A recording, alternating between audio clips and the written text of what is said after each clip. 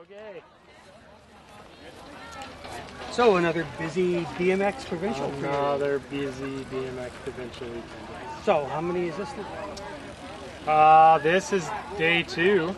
Okay. So how many of these things have you done? Uh, this would be the third one that I've been involved in. Okay. So yesterday, today, and tomorrow is Sunday, right? Tomorrow is our big provincial championship. race. Okay, and that's in the morning. That is in the morning. Yep. We just finished our race for life. All the proceeds uh, for tonight's race go to uh, BC Children's Hospital. Cool, and uh, you'll be watching some of that in the background. Yep. So how many entrants this year?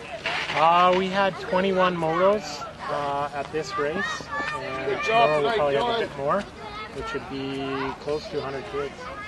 Cool. And I see the campground's full. That's great. Campground's full, you betcha. Yeah, probably some people staying in hotels as well. That's really good. That's a really good thing.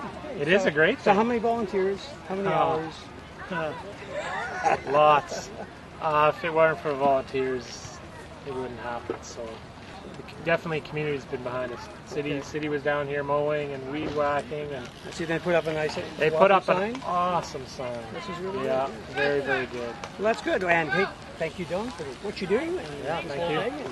Thank all, All the other volunteers. Yep. I like this, and this is neat. Unfortunately, I can't be here tomorrow, But Oh, that's okay. you should come tomorrow. Definitely. Okay. All right. Take thanks. There you go. BMX Provincials here in Grand Forks at our BMX track. It's a great little piece of entertainment. You can come down and watch from the bleachers. Doesn't cost you anything, but you can get refreshments. I'll let everybody. And happens every summer here in Grand Forks. Isn't that neat? I think people are having fun. I know I'd be having fun if I was one of these kids.